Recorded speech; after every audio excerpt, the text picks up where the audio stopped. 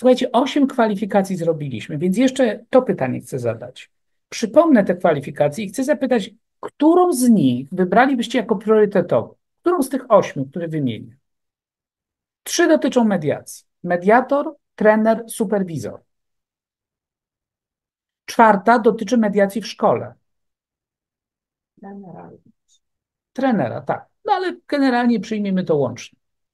Czyli mamy mediator, trener, superwizor i mediator w oświacie. I mamy jeszcze parę negocjatorów, czyli negocjator, ktoś, kto pomaga stronom się dogadywać. Wyobrażam sobie, że mogłaby to być osoba pomagająca, na przykład jako doradca w kontakcie z urzędem skarbowym, z jakimś e, powiedzmy e, z ZUS-em, z e, jakimiś wyspecjalizowanymi agendami po to, żeby człowiek mógł uzyskać należne mu świadczenia. Na przykład, gdy przychodzi mu złożyć wniosek o na przykład jakieś ulgi, czy jakieś świadczenie, prawda, no to taki negocjator mógł być przydatny. I mamy też wreszcie negocjatorów kryzysowych. Oni są przypisani głównie do służb mundurowych, siłowych, ale y, opisaliśmy negocjatorów cywilnych, czyli mamy sześć. Przypominam, mediator, trener, superwizor, mediator w oświacie, a teraz w strukturach tych cywilnych negocjator, negocjator kryzysowy i jeszcze mamy konsult, y, moderator konsultacji społecznych, czyli ktoś, kto wchodzi w zbiorowości, prawda? Czyli jest takim człowiekiem, który no, godzi ze sobą jakąś tam grupę społeczną prawda?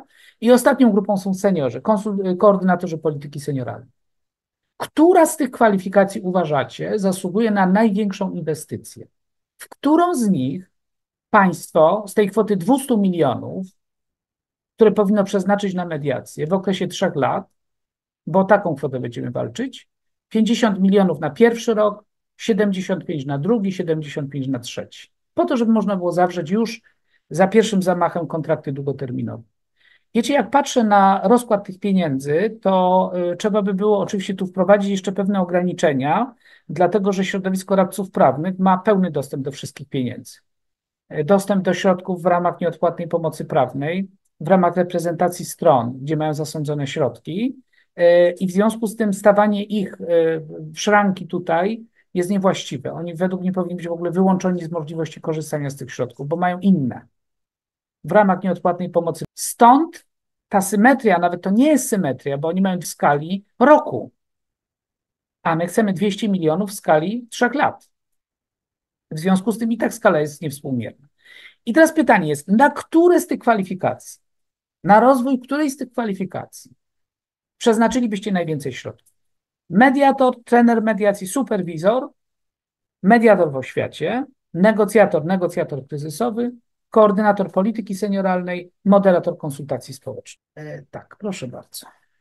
Ja się przed chwilą sama ze siebie uśmiechnęłam, dlatego że paradoksalnie, chociaż y, najwięcej się wypowiadam na temat mediacji, chyba wobec tego, o czym cały czas mówimy i wokół czego krążymy i w czym upatruję największą bolączkę w ogóle nas, Polaków powiedzmy, Chyba bym się y, y, koncentrowała wokół jednak y, konsultacji społecznych, dlatego że tak strasznie widać braki i ułomności, jak chodzi o dialog, o prowadzenie dialogu.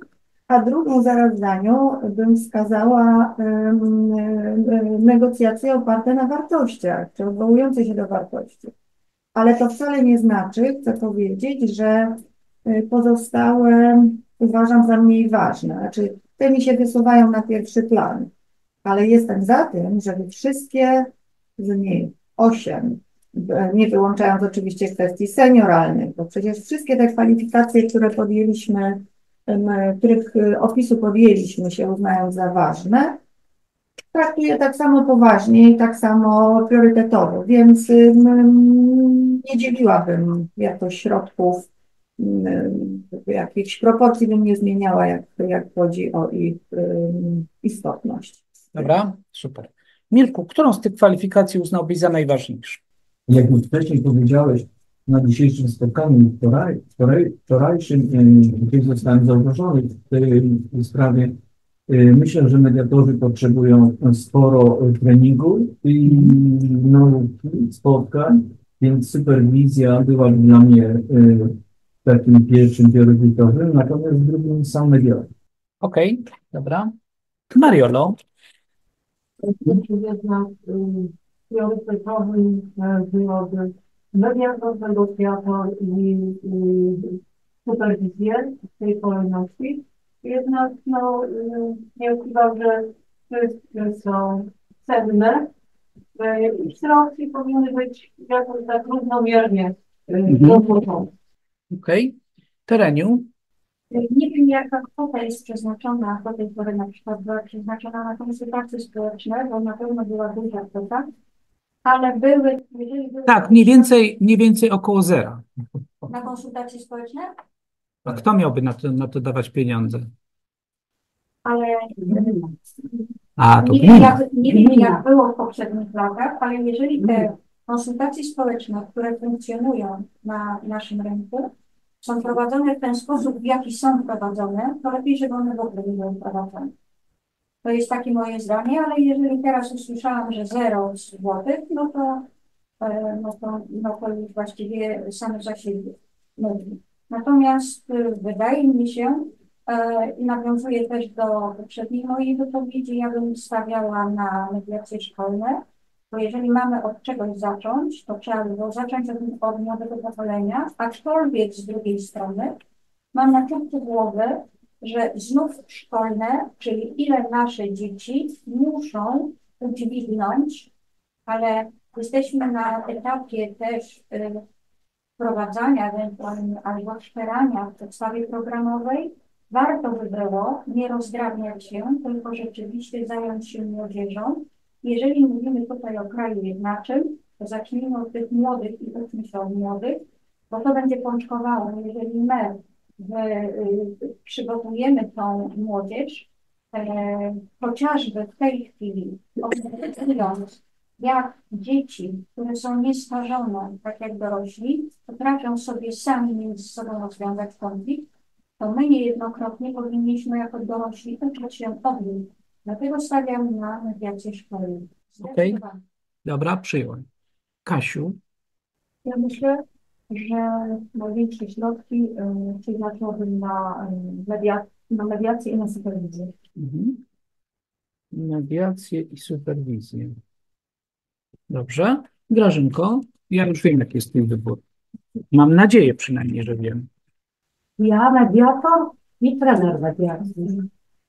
Mediator i trener mediacji. Tak. Dobrze.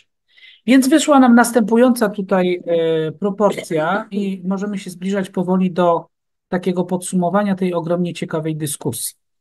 Mianowicie wygląda z tego, że superwizor jednak ma 8 głosów, ale mediator ma więcej, bo ma 9.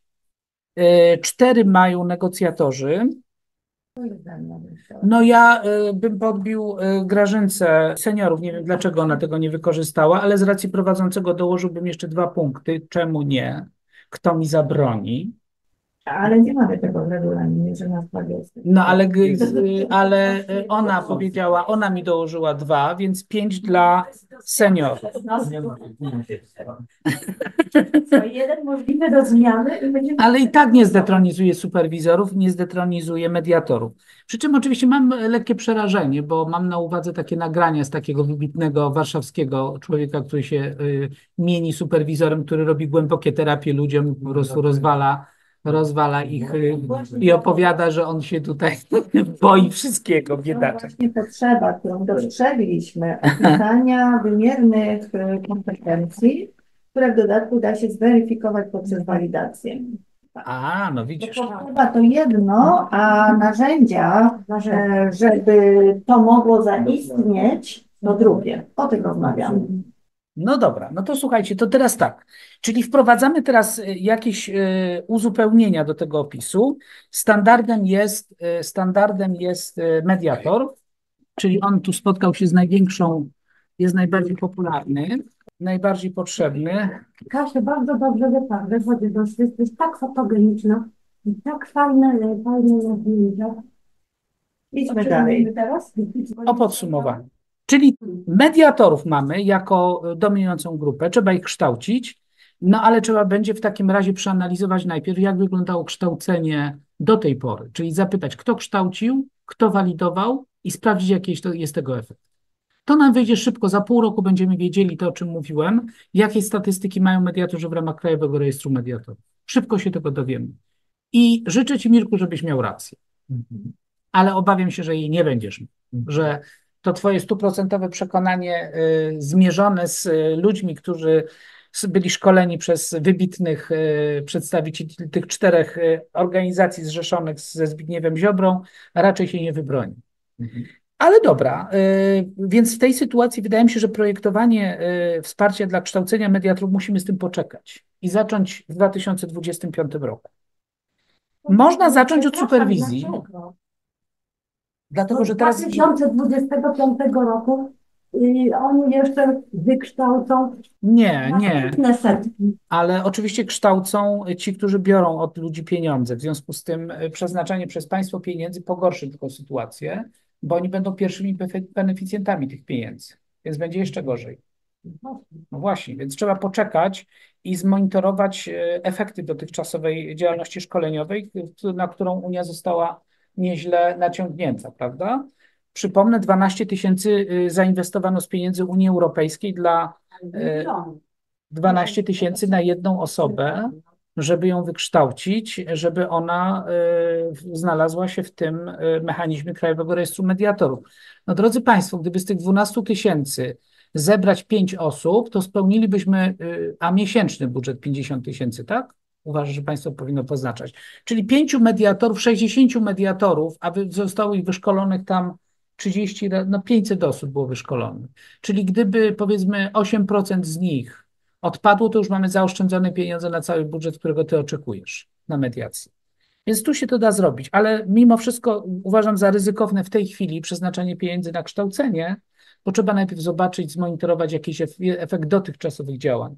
Inwestowanie w ten sam system Nie, jest błędem. Natomiast ciekawa jest kwestia superwizyjna. Mirku, może to jest czynnik mo, e, motywujący organizacje. Gdyby na przykład wprowadzić taki wymóg, że organizacje, które zrzeszają jakąś tam grupę mediatorów, mogą otrzymać dofinansowanie na zatrudnienie superwizora Mhm. I ten superwizor miałby spełniać określone wymogi, to to jest ciekawe rozwiązanie, prawda? Bo wtedy, no wiemy, że tych organizacji, które tak funkcjonują, no ile może być? 20? To i tak byłby cud, prawda? Jest ich kilka de facto, no ale jak to Polacy by ponaciągali, że akurat ich mają. Kolejny priorytet to są te negocjacje, o których mówicie, konsultacje społeczne, ale ja już na koniec chcę Grażynkę zapytać, dlaczego ty, Grażynko, zapomniałaś o seniorach? E, Jak pamiętasz spotkanie z panem dyrektorem Gajewskim w Ministerstwie Sprawiedliwości, e, szło w takim kierunku, że pan, e, pan dyrektor Gajewski myśli w tej chwili chyba głównie o wsparciu dla seniorów. Bo Ale już słuchajcie, wyrzucili pieniądze w dzieci, wyrzucili wymiar sprawiedliwości, już nie wiedzą w co wyrzucać, więc myślą teraz o seniorach. Ale Na co- jak się tak wyróżnia seniorzy, to od razu, to od razu się ich, wiesz, ustawia w jakiejś tam na końcu kolejki. Zresztą wymieniłeś ich na końcu tych, wszystkich specjalizacji, tych, tych, tych, tych kwalifikacji. Senior to jest normalny człowiek, no normalny i, i wcale nie musi mieć jakichś specjalnych, wiesz, zasad. No nie wiem. czy Czyli nie ma potrzeby inwestowania w seni- w seniora.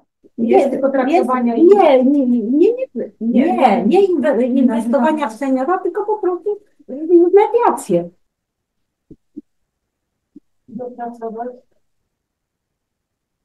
wskazać, konkretyzować, yy, wysłać do odpowiednich instytucji, żeby ta yy, zaakceptowana yy, i prowadzić takie działania. Okej. Dziękuję bardzo. Mirku, twój głos na koniec.